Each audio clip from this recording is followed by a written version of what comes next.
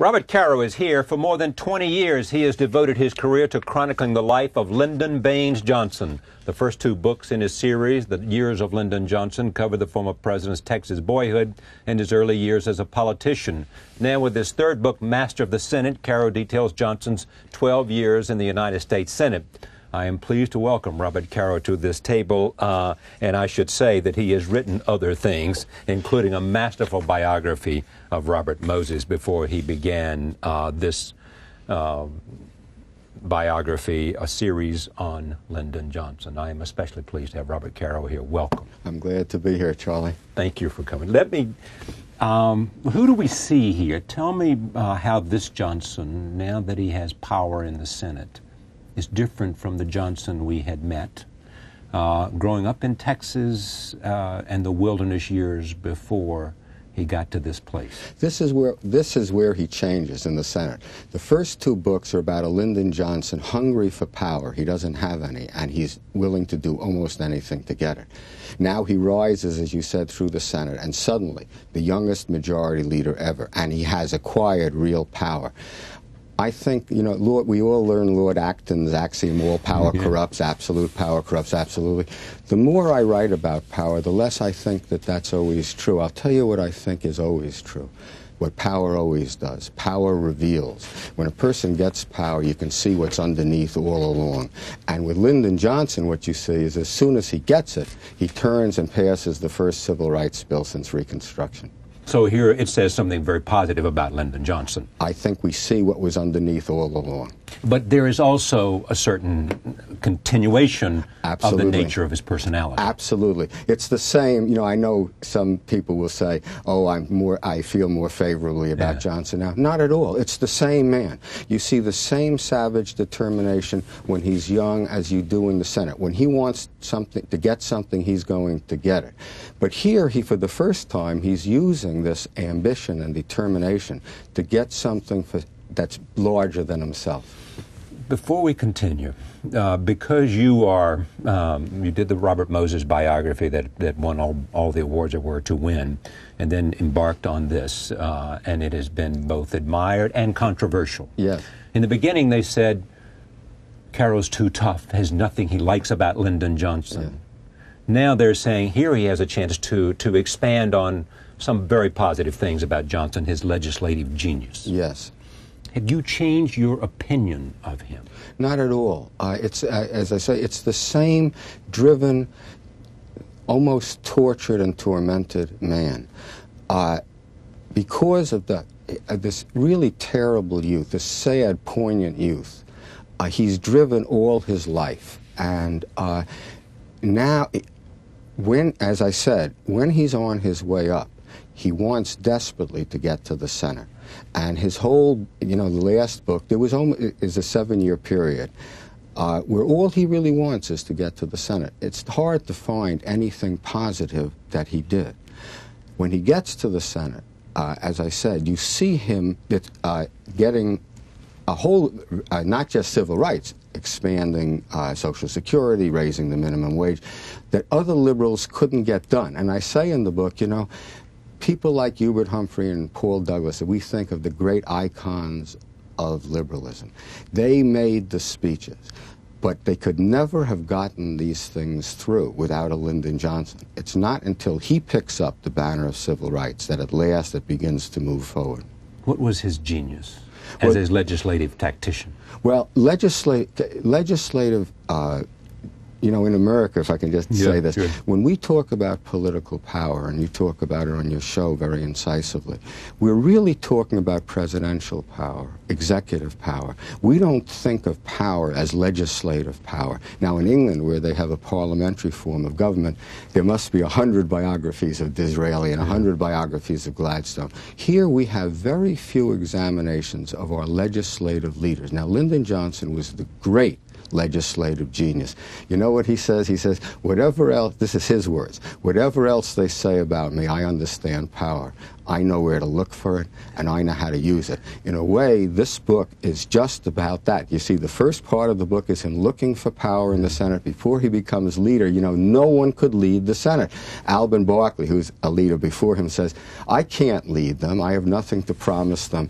I have nothing to threaten them with. Lyndon Johnson, as soon as he gets to the Senate, starts finding things to promise them and starts finding things to threaten them with. And he leads the Senate. So this book is really not only about Lyndon Johnson, it's about the nature of legislative power and, in your words, legislative genius. How did he come to acquire that position of leadership in such a short period of time? Oh, in part by flattery, you know. Uh, the Senate, he called them the old bulls, the committee chairman. No one ever got close to one of them. Big Ed Johnson of Colorado, chairman of the Commerce Committee. Johnson gives him a nickname, Mr. Wisdom, you know.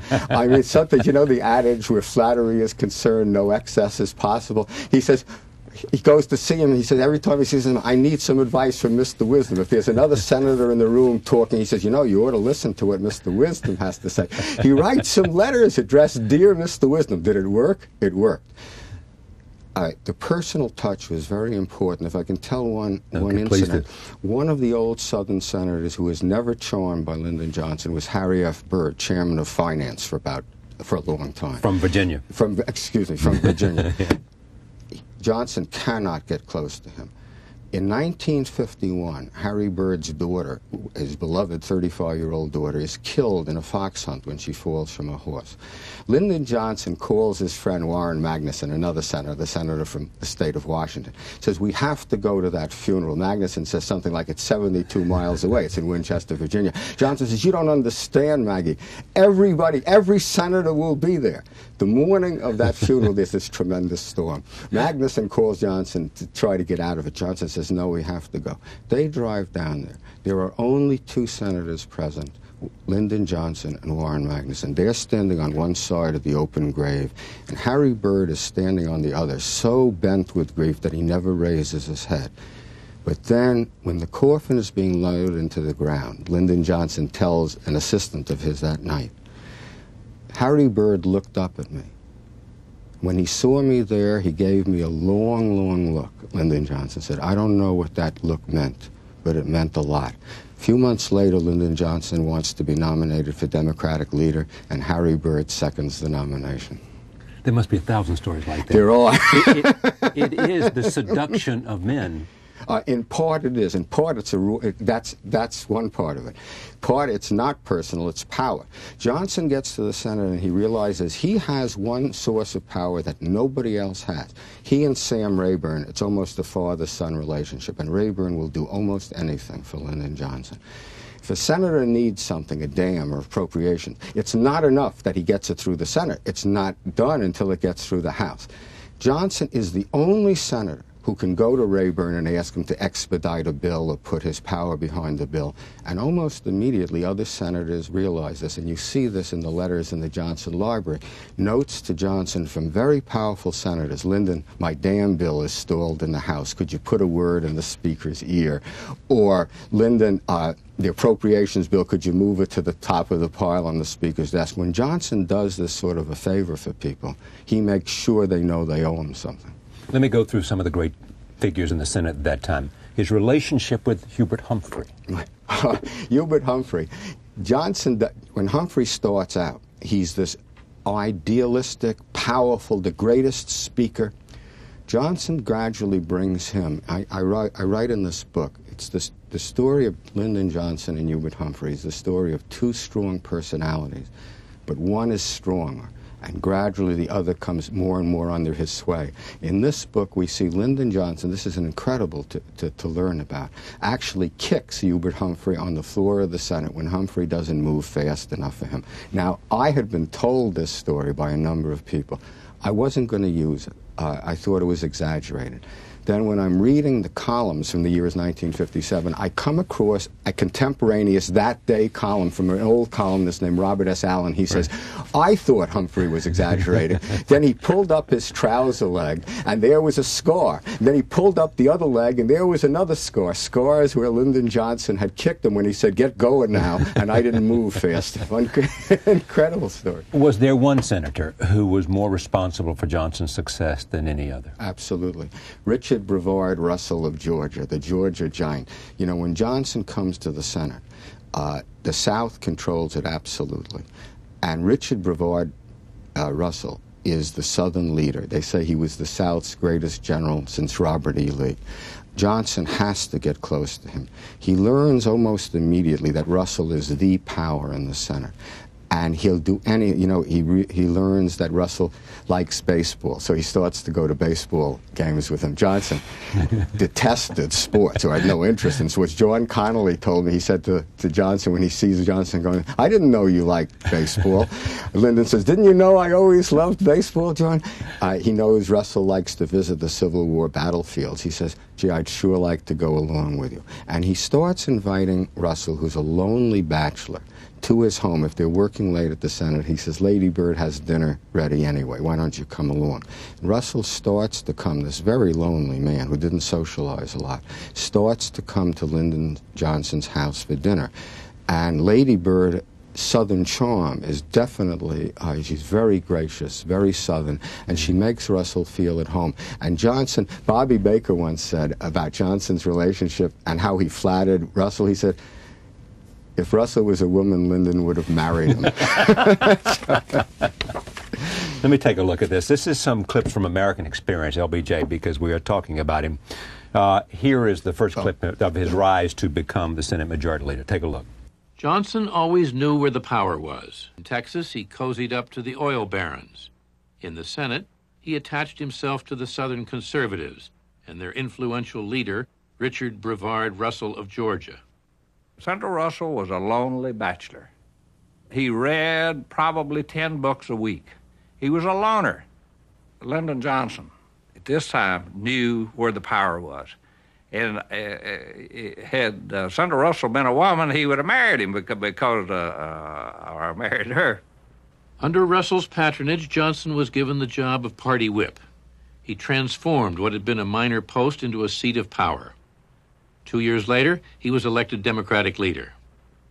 Landslide Lyndon was now one of the most powerful men in the United States Senate. Power. Um, there are wonderful stories of Johnson and the treatment, what's called the Johnson treatment. Right. Beyond what you have said, what was it? I mean, how did he go about, in a sense? Uh, there's this wonderful photograph, I think maybe during the majority leader period or else during the presidential period, where he's leaning over to the right. senator from Rhode Island, right. I think. The Green. majority leader. Yeah. yeah. yeah. Well, that's you know, I say in the book, Lyndon Johnson was not a reader of books. He didn't like to read books. He was the greatest reader of men. He had, you know, he used to tell his assistants, watch their eyes, watch their hands. What a man is telling you with his mouth is never as important as what he's telling you with his eyes. He used to say, what a man is telling you is never as important as what he's not telling you. Don't let the conversation end until you find out what he's not, he's trying not to tell you. So he had a genius for knowing men's weaknesses and strengths, what they really wanted. Not what they said they wanted always, but what they really wanted. And he would appeal to that. Uh, he would put this big arm around your shoulder. With the other hand, he'd grab the lapel. He'd lean that big face into you. And he would use whatever he had to use to get you to do what he wanted. Uh, you know, I can tell you, uh, Scoop Jackson, the senator from the state of Washington, the other senator from the mm-hmm. state of Washington, who worked with Johnson very closely for 25 years, both in the House of Representatives and in the Senate, tried to define the difference between President Kennedy and President Johnson this way. I, it's a pretty exact quote. He said, President Kennedy would call the senator to the White House, and he would explain why this bill was so important. But if the senator said his constituency simply wouldn't allow him to go along, that he couldn't do this, President Kennedy would always say he understood. He was sorry they couldn't agree, but he understood. Lyndon Johnson, Scoop Jackson says, Lyndon Johnson would refuse to understand. He would charm you or threaten you or bribe you or cajole you. He would do anything he had to to get your vote, but he'd get it. That was the thing. He'd get it. What's the best example that comes to mind of a threat? Of a, of a threat? Uh, well, uh, with Paul Douglas, uh, who is the great liberal senator from Illinois. Yeah. He Former warned, professor of economics and all professor that. of economics, also a war hero. You know, he enlisted in the Marines at the age of 50 and charged up a beach and won the Silver. So Johnson hated Douglas anyway. The way they hated, he hated him because Douglas was the opposite of him. Lyndon Johnson said it's not the job of a politician to say principled things. Paul Douglas said the principle is the important thing. Johnson, uh, Lyndon Johnson wore the Silver Star and didn't deserve it. Paul Douglas had earned the Silver Star. Johnson warns Douglas not to keep pressing for a civil rights bill in, in 1956. Douglas, refu- Douglas knows he's going to lose, but he's determined to have a vote on this. But he doesn't know what's going to happen to him. Johnson has warned him not to do this. So Douglas makes this motion. Johnson has all the power. He has lined everybody up on his side.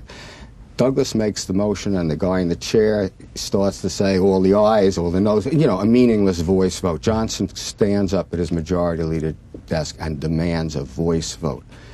So Douglas has to sit there. The vote is 76 to 6 against him. Even his own friends, most of them won't vote for him. He's so he has to sit there while 76 people refuse to support him. He walks out of this office, and his aide, Howard Shuman, comes running up to him. Douglas is almost crying. He goes over to the elevator. He says, Press the button three times. Let's pretend we're senators. That's how a senator rang for yeah. Then Douglas writes in his memoir I went up to my office, I shut the door behind me, and I did cry. That's what Lyndon Johnson could do to a man who didn't listen to him. Make him cry. Yes, make a strong man cry. What was the relationship with Lyndon, with between Lyndon Johnson and John Connally?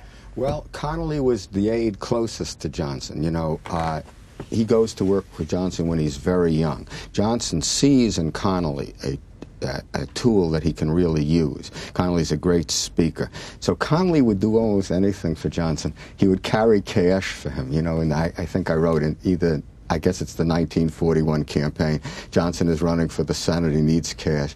John Connally flies to Houston and gets $50,000 in a brown paper and brings it back in a brown paper bag. He's met at the Austin airport coming back by his friend Charlie Herring, a, a young attorney. They go to an all-night diner, right, to have something to eat, and they leave the Connally leaves the $50,000 uh, in the uh, in the booth, and it's really funny to ask the two of them how fast they drove back they realized it was gone. But Connally was a great asset, yeah. when Johnson wants to be nominated for president in 1956, Connally gives the nominating speech, and it's a great speech. Uh, Connally was a master politician, was really quite sad because Connally once said to me, you know, I always thought I was going to be a great figure in history. This is not a direct quote, but it's the idea. Now I know that I'll be remembered mostly for my association with Lyndon Johnson. Um, that is sad, actually. Yes. Yeah. And, and, you know, when I would talk to him, there was never a question that I asked him that he would not answer. He said to me, if you interview me, of course, I was happy to interview him, I will answer every question, no matter how delicate the subject was. There was never a question he wouldn't answer. So he, there was no question he didn't answer from you. Correct. Anybody missing from this that you couldn't find? Uh, from that book? Yeah, from the I, Senate years. From the Senate years, uh, well, I would have loved to talk to Richard Brevard yeah. Russell because he was closest to Johnson. Yeah. I was he had died. He never wrote about him, never talked about him. Yes, he did. That's a, you always ask the right question. I thought I was never going to get any insights into Russell from Russell's mouth, and then I discovered that a television interviewer had interviewed him for three straight hours, very late in his life on the porch of his home in Winder. And of course, a lot of the things that he yeah. says there cast absolutely new light on Lyndon Johnson. Like Johnson had persuaded everybody that he never attended the Southern Caucus, the meeting of the right. Southern Senators. The reporter says to Richard Russell, I understand that Lyndon Johnson never attended the Southern Caucus. Richard Russell says, yes, he did. He certainly did. Uh, and then he goes on to, to name a couple of times uh, yeah. in which Johnson does uh, attend. And in that conversation with the with that reporter on that porch in Georgia, Yes. uh, do you get a sense of how Russell felt about Johnson, his judgment about Johnson? Uh, yeah, their, their relationship extended through the Vietnam War, and we now know from Johnson tapes Yes. that Russell was saying things like Lyndon. yes. You know, I'm not sure we ought to be there. That Russell had grave reservations about the war, and Russell was chairman of the Senate Armed, Armed Services, Services Committee. Committee. Yes. You get a lot of sense from that. You know, uh, uh, of course, by the time this interview was conducted, Russell and Johnson have had this real falling out. Uh, but you do get a sense of what Russell saw in Johnson early on. This incredible ability. You know, Russell, they said, read the congressional record every day. So did Lyndon Johnson. Russell knew all about the, the, the political situation in a senator's home state. He made it his business to know. So did Lyndon Johnson. You can't, Russell was a master legislator. You can't fool a master of a craft about how good another man is. He saw that Johnson was just a great senator. And, you know, Russell really raises him to power in the Senate. This is what this book, Master of the Senate, I think shows more than any other book, and it's the most important thing. Johnson is raised to power by the South. He's raised to power by the Southern Bloc in the Senate. Because they were the most powerful bloc. Absolutely. And through 1956, he follows their lead. He, he's a total adherent. Served their interest. Totally. And then In 1957, he changes, he reverses course 180 degrees. In the meantime, he's bridged a gap, you know, relationship with Hubert Humphrey Right. and other liberal members of the Senate. But but although you always that's right. But although he's bridged the gap, there's a gap he can't bridge. Lyndon Johnson wants to be president. This is the strongest driving force. Jim Rowe, one of Johnson's intimates in Washington, once said to me, from the day he got here, all he wanted was to be president. He realizes in 1956 that he is never going to be president with just the South, and that the Northern liberals will not accept him, no matter what else he does, unless he passes a civil rights bill. Jim Rowe writes him a memo in 1957. He says, This is Armageddon for Lyndon Johnson. You either pass a civil rights bill this year or you can forget about being president. Johnson has always had this compassion to want to help poor people of color. Now it coincides with his ambition. He reverses course and he passes the civil rights bill. Roll tape. This is our last excerpt from American Experience, but it is about the 57 Civil Rights Bill. Here it is.